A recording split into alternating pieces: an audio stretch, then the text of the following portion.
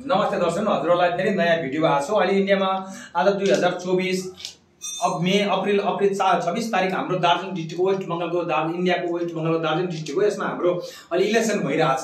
म इलेक्सनको बारेमा इन्डियाको इलेक्सनको बारेमा धेरै वाट्सएपमा नेपाल इन्डिया वा हिन्दूमा आस्था राख्ने मान्छेले धेरैले प्रश्न कसले जित्छ गुरुजी इन्डियामा कसको सरकार हुन्छ भनेर भन्दै हुँदाखेरि मैले उहाँ इन्डियाको जनगणना चाहिँ पण्डित मैले यो जन्मकुण्ड नरेन्द्र मोदीको जन्म कुण्डली भन्छ। उहाँको जन्मले कुण्ड भन्नाले जन्म कुण्डली भन्दाखेरि उन्नाइस दुई उन्नाइस सौ पचास उन्नाइस सेप्टेम्बर नाइन के सत्र तारिक हो।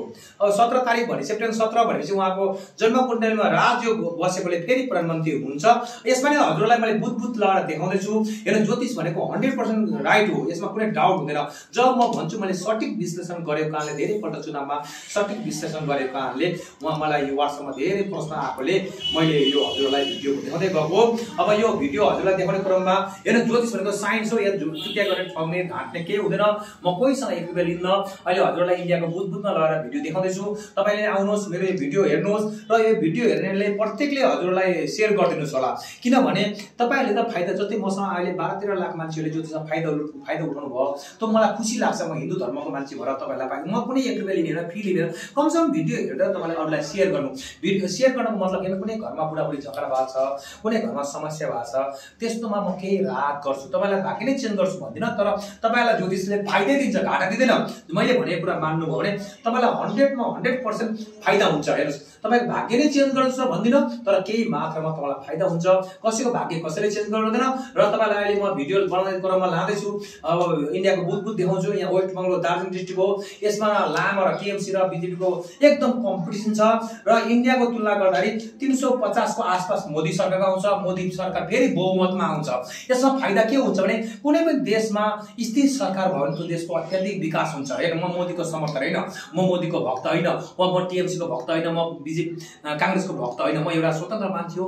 स्वतन्त्र स्टाइलले म ज्योतिषको भविष्यवाणी वा विश्लेषण वा सठिक विश्लेषण गर्छु वा ज्योतिषको गर हेर्छु। यही क्रममा आज मोदी र श्री इन्डियाको मन- प्रधानमन्त्री श्री नरेन्द्र मोदी र राहुल गान्धी श्री राहुल गान्धीको कुन चाहिँ प्रधानमन्त्री हुन्छ भन्ने बारेमा हेर्दैछु। हन्ड्रेड पर्सेन्ट मोदी प्रधानमन्त्री हुन्छ किन उहाँको जन्म तारिक जो छ दुई हजार उन्नाइस सौ पचास सेप्टेम्बर सत्र तारिक भएको राजयोग बनेछ अझै दस वर्ष इन्डियालाई अत्याधिक शक्तिशाली देश बनाउनुहुन्छ। त्यस्तै नेपालमा यो भिडियो हेरेर तपाईँले एउटै सरकारलाई बहुमत दिनुहोस्। कुनै पार्टीसँग मेरो लेन छैन कुनै पनि पार्टीलाई बहुमत दिनुहोस्। एउटैलाई दिनुहोस्। एउटै राजा भयो भने त्यो देश चलाउन सही हुन्छ। कुनै पनि घरमा एउटै मुखिया भने राम्रो हुन्छ। दसवटा मुखिया भने कुरो बिग्रिन्छ। हेर्नु हिँड्दै जानुहोस् अब तपाईँलाई बुथ लेभलतिर लाँदैछु।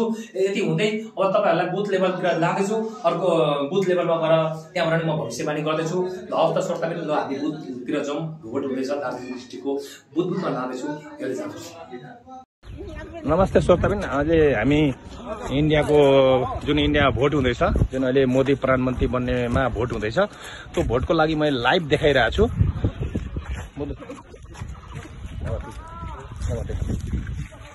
म यो भोटको लाइभ देखाउँदैछु बङ्गालको दार्जिलिङ डिस्ट्रिक्ट हो दार्जिलिङ डिस्ट्रिक्टको यो पानट्याकी भन्ने हो। हामी नेपालीहरू एघार बाह्र लाख जनसङ्ख्या बाह्र लाखको भोटरमा लगभग सात आठ लाख नेपाली छौँ हामी भोटर।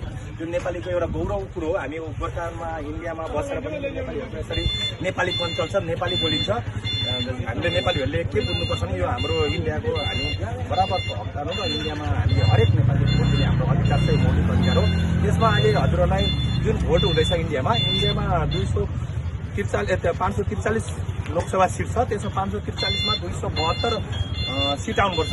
दुई सौ बहत्तर सिट ल्याउने चान्स चाहिँ मोदीको अत्याधिक छ। मोदीले योपल्ट फेरि अब हजुरलाई म यो ज्योतिष भएर पनि म कुनै न ममता दिदीको न मोदीको न काङ्ग्रेसको मान्छे भए पनि मैले ज्योतिष गणना गर्दाखेरि श्री अहिले जुन प्रधानमन्त्री हुन्छ नरेन्द्र मोदी उहाँको बहुमत आउने चान्स चान्स छैन हन्ड्रेड पर्सेन्ट ग्यारेन्टी। जुन ज्योतिषको भरमा के हुन्छ भने उहाँको वान फाइभ नाइन छ जस्तै लिडरसिप गर्नलाई वान फाइभ नाइन छ उहाँको राजयोग परेकोले योपल्ट फेरि उहाँ प्रधानमन्त्री हुनुहुन्छ यसमा कुनै डिबेट छैन। हेर्नुहोस् म जुन कुरो हजुरहरूलाई ग्यारेन्टी दिएर भन्छु जुन कुरो हजुरहरूलाई मैले ग्यारेन्टी दिएर भनेको हुन्छ त्यो कुरो हन्ड्रेड पर्सेन्ट पुग्छ। जुन ज्योतिषमा मैले ग्यारेन्टी दिन्न त्यो कुरो पुग्दैन। ज्योतिषमा ग्यारेन्टी दिएकोले उहाँले योपल्ट फेरि प्रधानमन्त्री हुन्छ यसमा कुनै डिबेट छैन।